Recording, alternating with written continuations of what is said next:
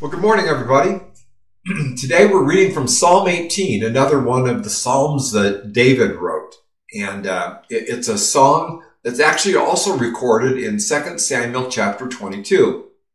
Now, as you can see in your Bible, the preface of the Psalm indicates that this is a song. It's a song, uh, David uses songs often to express his heart. And uh, in this case, he's praising God for delivering him from his enemies. And we don't know whether it was a specific incident or uh, he was remembering back to lots of incidences. But it's a really long psalm, so I, I, I'm only going to comment on a couple things at the very, very beginning, but please read the whole thing. First one is that David realized he couldn't save himself. And I get that from verses 4, 5, and 6. It says, The ropes of death entangled me, the floods of destruction swept over me. The grave wrapped its rope around me, and death laid a trap in my path. But in my distress, I cried out to the Lord. Yes, I prayed to my God for help. He heard me from his sanctuary. My cry to him reached his ears. You know, if, if you go back and read the uh, accounts of David's life in 1st and 2nd Samuel especially, you find out that he had to navigate a lot of very difficult circumstances. And, and there were times when it just seemed hopeless. In fact, he became so discouraged at times and, and, and literally he was facing death. and it realized, he realized that he needed God. He realized that he needed God. And, uh, you know, I think we can relate to David in that, in that we'll all face circumstances that we can't think our way out of, we can't buy our way out of, we can't work our way out of, or, or even strategize our way out of. Uh, and honestly, God never meant for us to, to do life alone.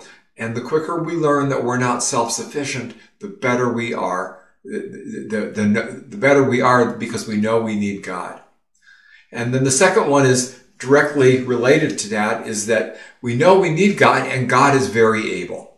And uh, the first three verses talk about that. David says, I love you, Lord, for you are my, and listen to what he calls him. He says, my strength, the Lord is my rock, my fortress, and my savior.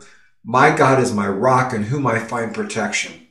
He is my shield, the power that saves me in my place of safety.